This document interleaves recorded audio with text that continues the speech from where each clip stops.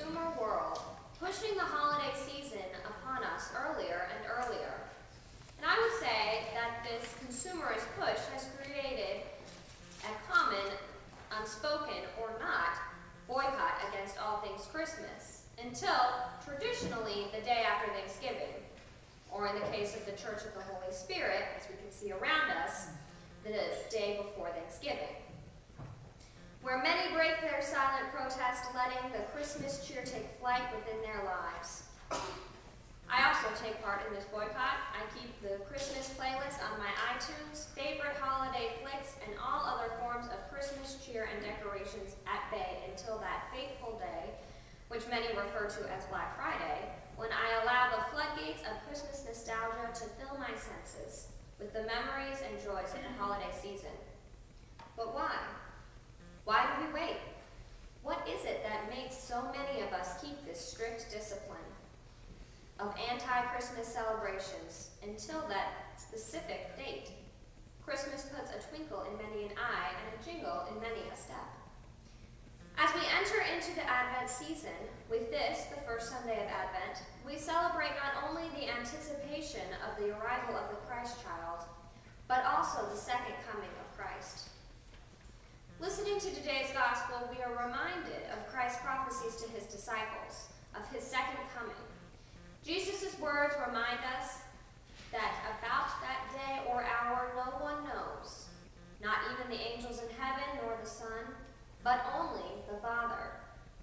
Many of us who have come to experience the Advent season year after year have come accustomed to its traditions, its colors, as we can now see, its songs, its plays, and so on.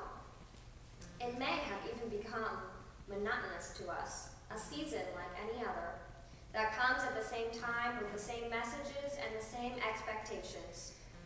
May we be coming upon this, the season of Advent, asleep, going through the motions without realization of this season's true impact and meaning in our lives. Today, Mark reminds us through the words of Christ that we need to stay awake. Wake up!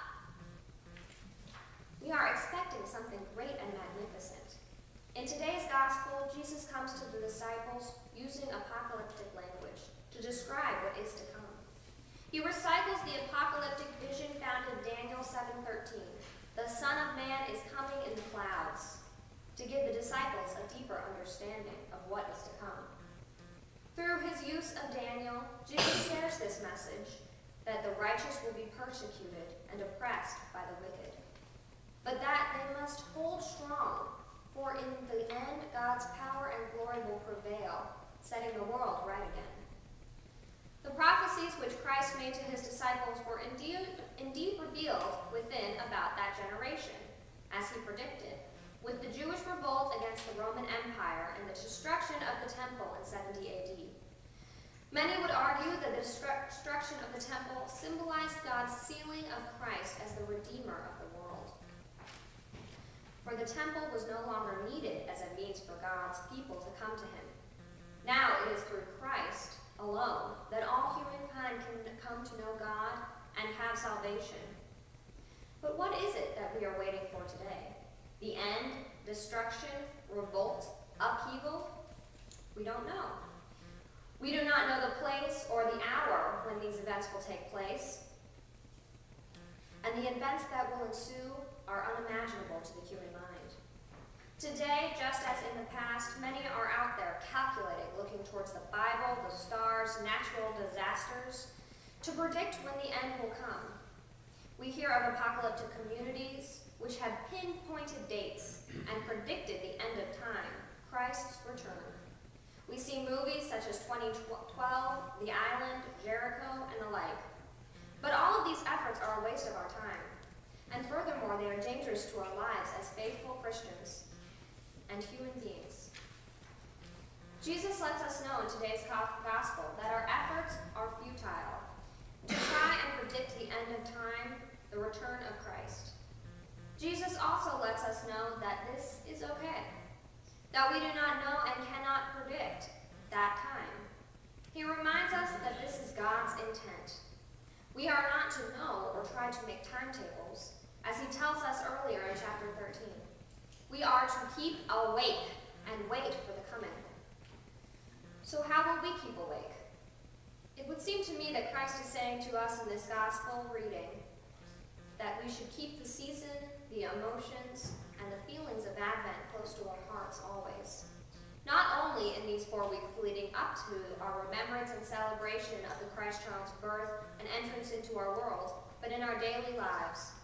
The celebration of the first Sunday of Advent marks not only the beginning of the waiting period for the Christ child, but also to remind us what we today are still waiting for and anticipating.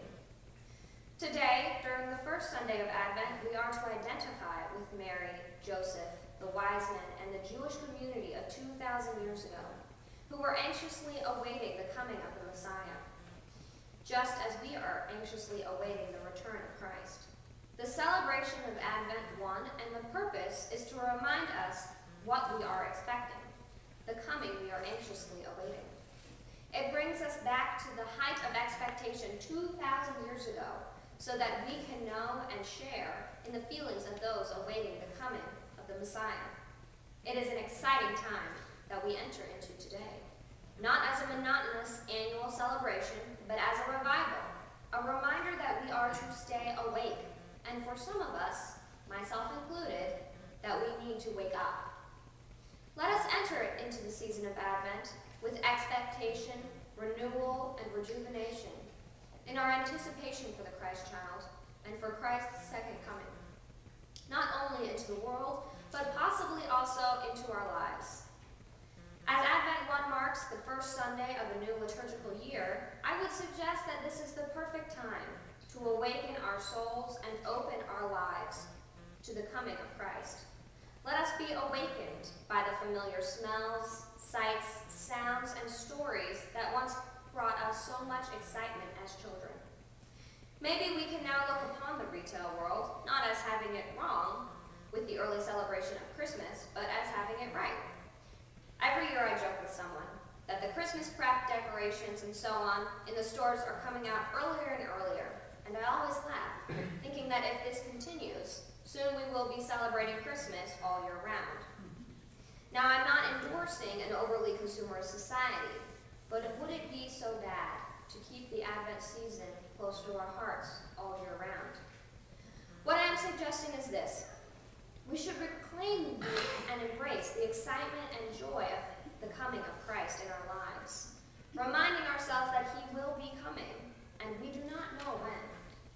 So let us wake up as we wait for the coming.